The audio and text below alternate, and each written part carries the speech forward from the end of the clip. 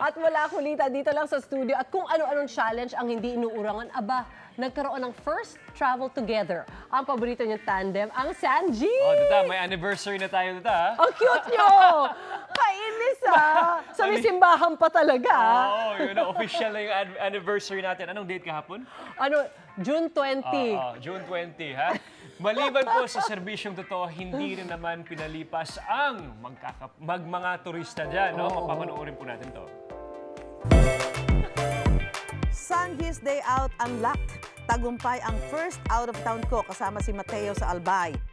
Susan tayo! Dahil ang Sanji Tandem, hindi lang pang fun, kundi handa rin magbigay ng serbisyong totoo. Touchdown Albay at ang aming first duty, i-check ang lagay ng mayon. Serbisyong totoo din ang hatid namin sa mga evacuees ng Anislag Elementary School kung saan namigay kami ng mga relief goods.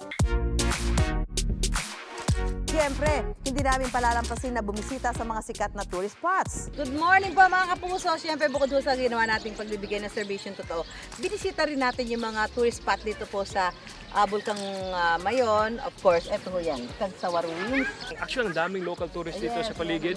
Um, kahit uh, kahit uh, the volcano is still, you know, eh, very, Kahit very active. taga-Alboroto po yung bulkan, sabi nga, eh, basta doon ka lang sa safe area. Narinig mo yan, tita? Yung chan mo, gutom ka yata. Kain muna tayo, tita. Dito muna tayo. Tita Susan, doing the pancit bato this morning. Yes. Ano ba to, tingnan tita? Bakit Kasi yung pancit bato? bato, eh, kasi daw ito ga- ginagawa doon sa Bato Camarines Sur. Yung pangalan ng lugar kung saan to nakukuha ay Bato. Si Mateo hindi pinalampas na makausap ang mga taga roon at ilang turista. Video. At may encounter pa sa isang unggoy.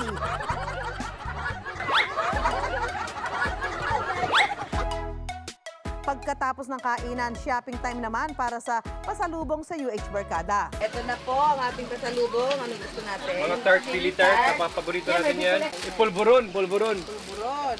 Pili na tayo ng isang pancit bato.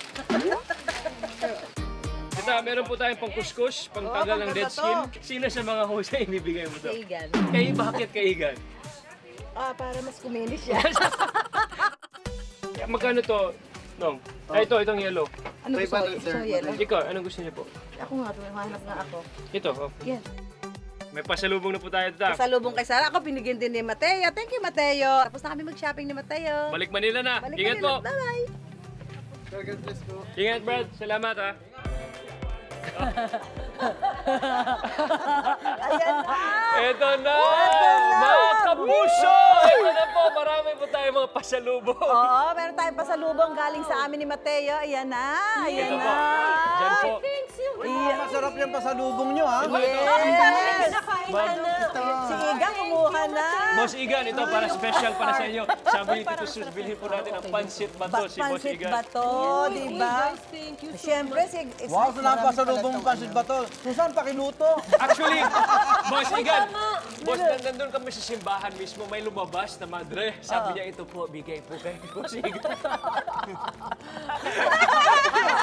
Salamat po, sister. Sister, salamat na po sabi ni Igan. Sana magtagpo ulit landas natin. Oo nga nga. Hintayin kita sa lahat. Thank you, thank you. Thank you so much sa pasalubong. At you, maraming salamat sa nagbibigay natin sa atin ng ano. Oo nga. Ay, Pag, pag nag, magsasalita ako, kinakabahan ka na sa palagi.